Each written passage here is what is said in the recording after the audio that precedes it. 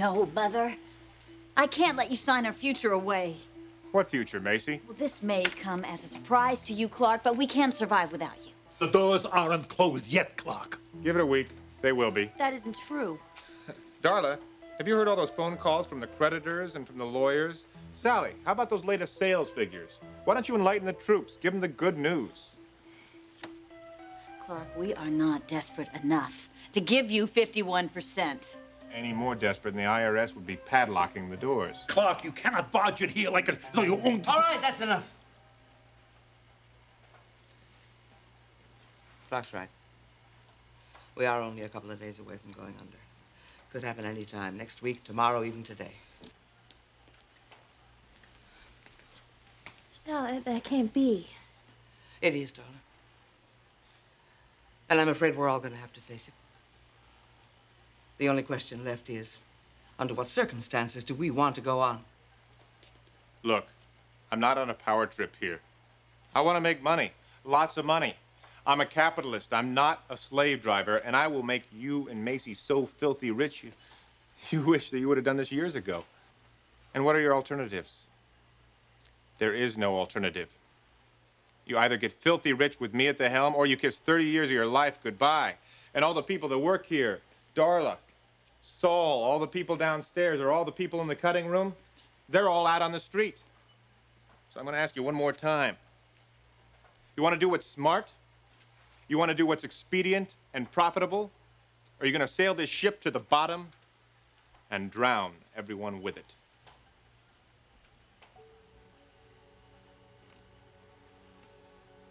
All right. I'll sign. After I have my lawyer take a look at it. Have him look at it today. I'll be into work tomorrow. Uh, and Saul, um, get my office ready for me. I want it spit shine. Hey, cheer up, everybody. Still got your jobs.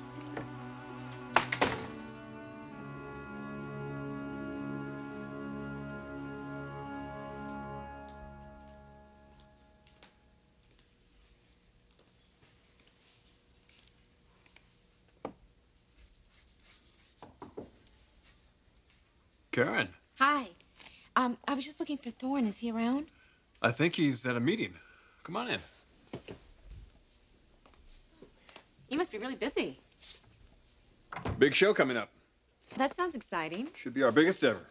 Great. Let's see, the last time I saw you was at Mother's pool party. Right.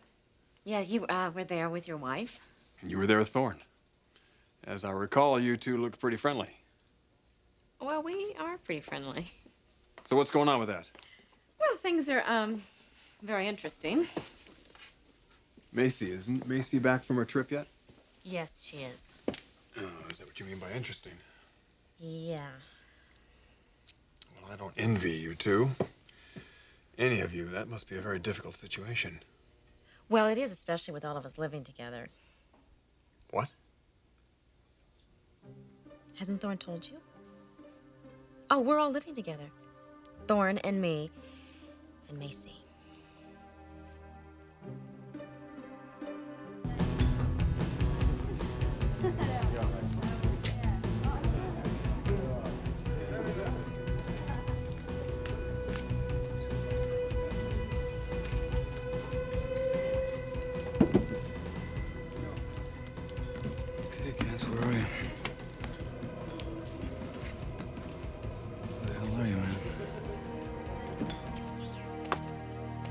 Gonna let me in, little girl?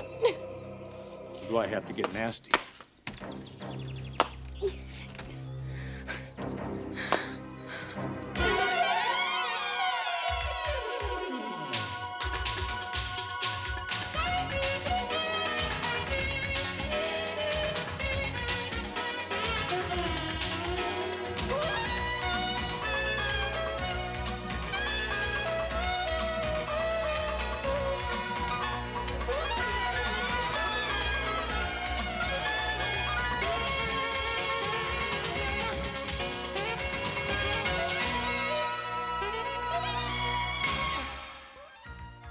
The bold and the beautiful. This portion sponsored by Dawn Dishwashing Liquid. It takes grease out of your way.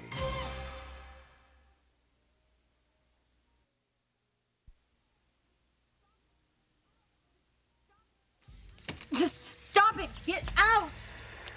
Can't do that, baby. What do you want? Let me in and I'll show you. No way, I'm not letting you in here. I like that. A lot of fight. You and I are gonna have a pretty good time. Please, please just leave me alone.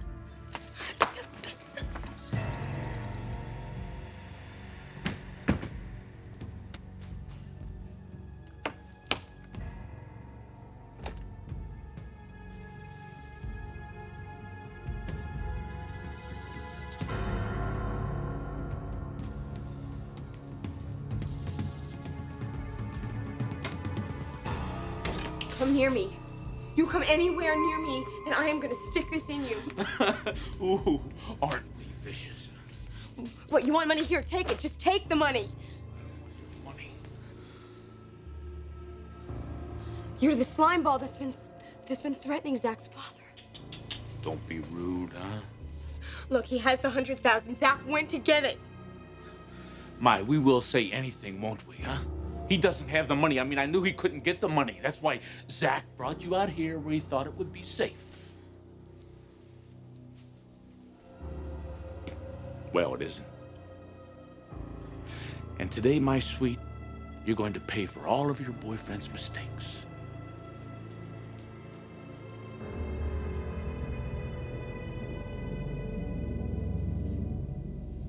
Now, put down the knife. Put down. Or I'll kill you right here.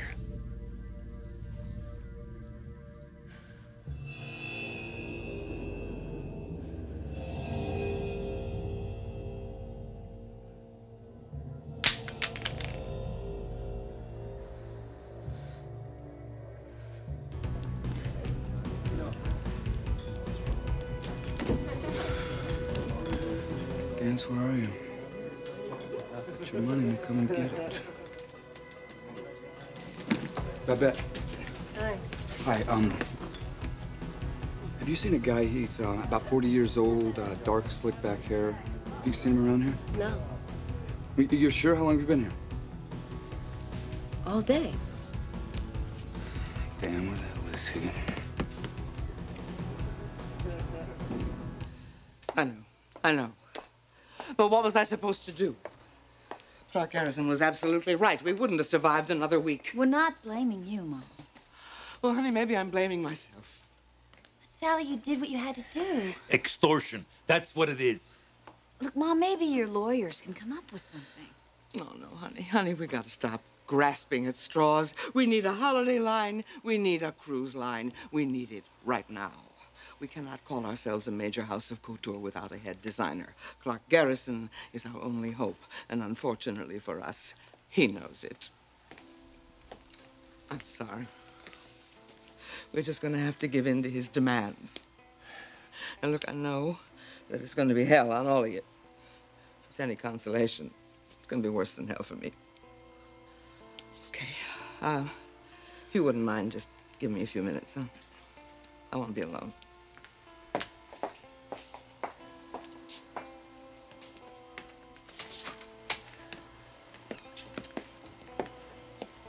Let me know if you need anything, Mom.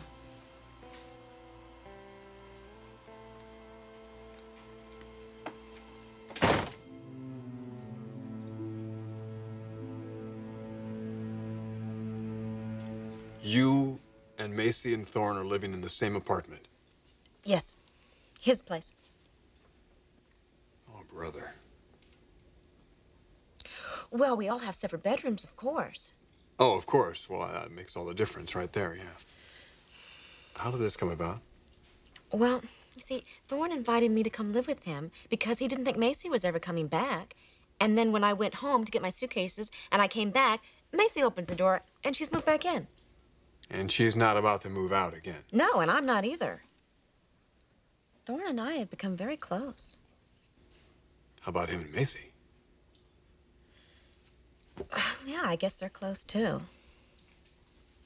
What a guy. Oh, well, it's not like Thorne is liking this. No, no, I'll, I'll bet he's not.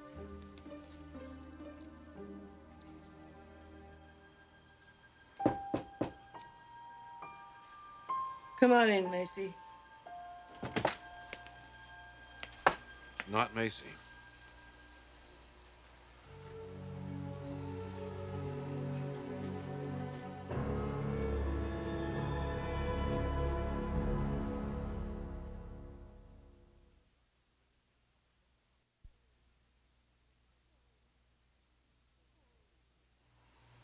Sally.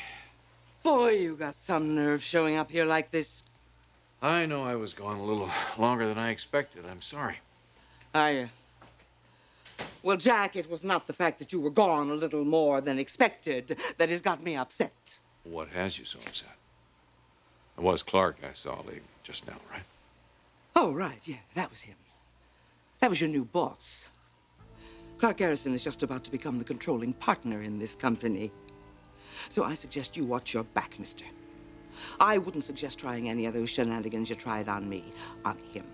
Clarke Garrison is a very tough customer. He is not about to be a patsy for your smooth talk and drivel like I was. Sally, what in the world are you talking about? Oh, don't play innocent with me, Jack. Spare me that, will you? Will you give me a break? You start to level with me right now, or I swear to God, I'm gonna explode. I'm gonna wreck this whole place. You start to level with me. You start to. Yes, what is it? Do you think this is funny? No, I, no, it's really not funny. You're laughing. Not really.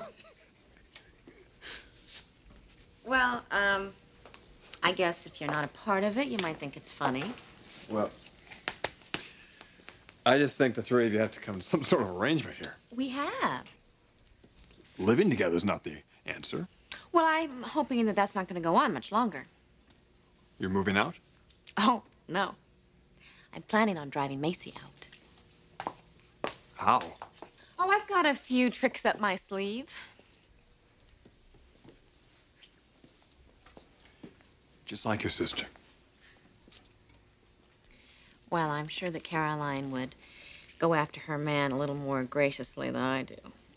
Hey, Caroline was no slouch. Did she have to fight for you? I had to fight for her as well. She won. I'd say we both won. Well, I hope I can say the same for Thorne and me.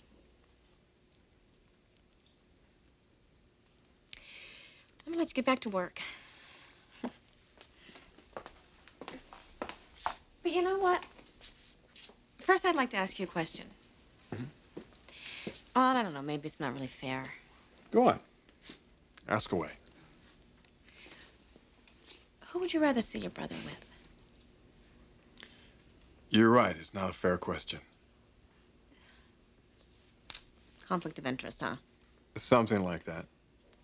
Wow. Do you think it would be okay if I came in here from time to time and cried on your shoulder when things got rough on the battlefront?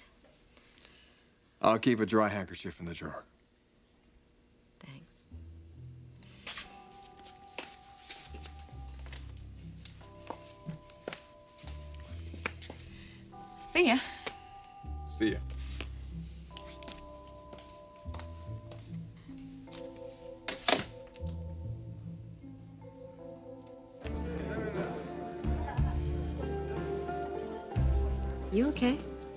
Yeah. I'm no, no, I'm not. Man, things sure are funny around here with the way you're acting. And then Rhonda. What about Rhonda? You didn't hear? Some guy attacked her on the beach last night. What? He really jammed on her. Knocked her out cold. The hell is that?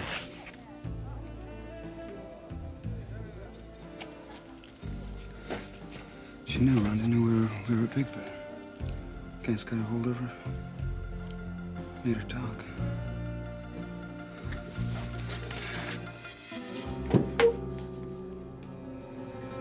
You got rope? What do you want rope for? Look, either cooperate or die. Now, where's the rope? It's under the counter behind you.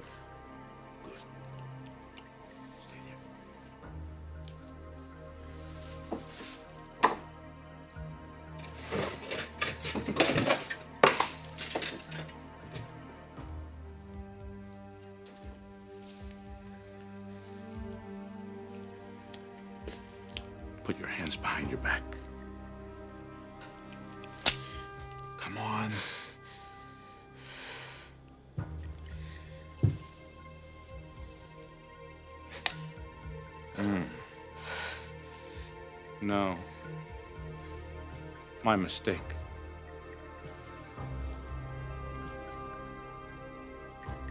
Take off your clothes first.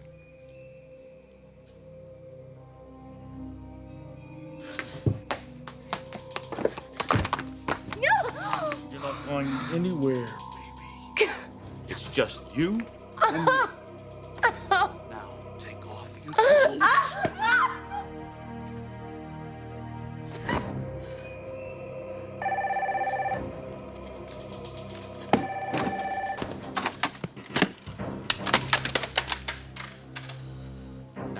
Off your clothes.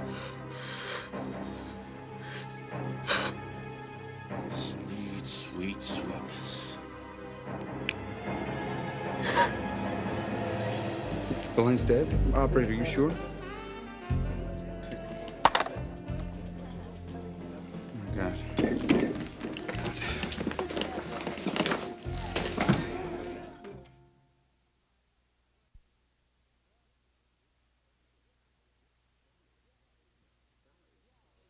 Sally, is that you?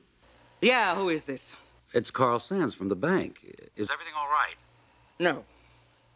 Things are definitely not all right. What can I do for you? I'm uh, calling about the withdrawal that Jack Hamilton made yesterday. Yeah. What about it? Well, I know it caused you some concern, so I thought you'd want to know. Today he came back into the bank and deposited the money. Really? Are you sure? Yes, only it wasn't $20,000 he deposited. It was 25000 What? That's right. 5000 more than he withdrew. I see. Oh, well, thank you. Thank you very much for uh, keeping me informed. I'll talk to you later. Goodbye. Sally, do you mind if we get back to the conversation? I'd like to know exactly why you're so upset with me. Where have you been for the last two days, Jack? That's what it is, that I was gone just a little longer than I thought I'd be? Sure.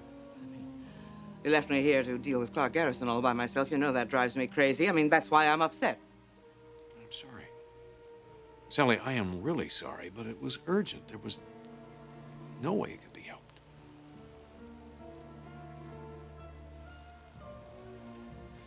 I'll make it up to you tonight. Tonight? Yeah, I owe you dinner. That won't be necessary, Jack. I wouldn't be doing it because it was a, a necessity, Sally. Then why are you doing it? Just because I'm gone for a couple of days, that doesn't change the way I feel about you. Doesn't it? No, why on earth would it? Why? You think about tonight. I'll be in my office.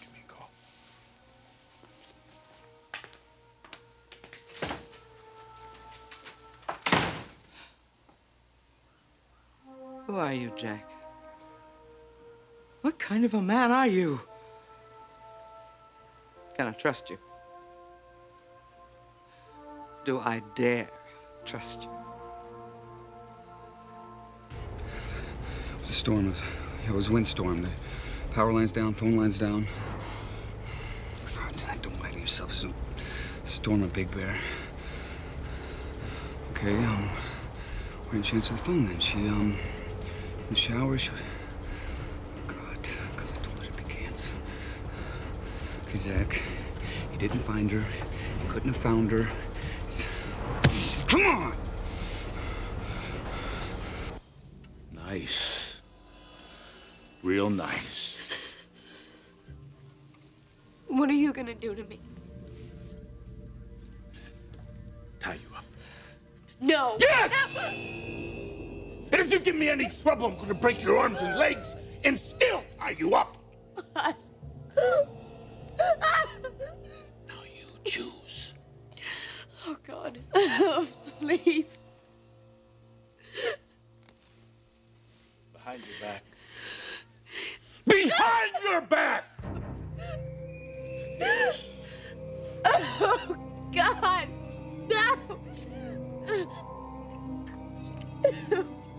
God.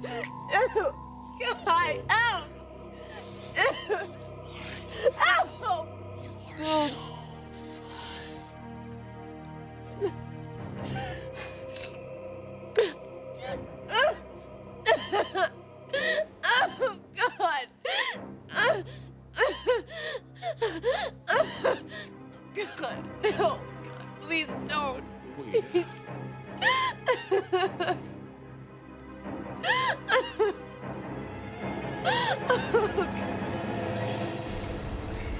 40 more miles. 40 more miles to Big Bear. Okay, you just hang on. Just hang on, babe.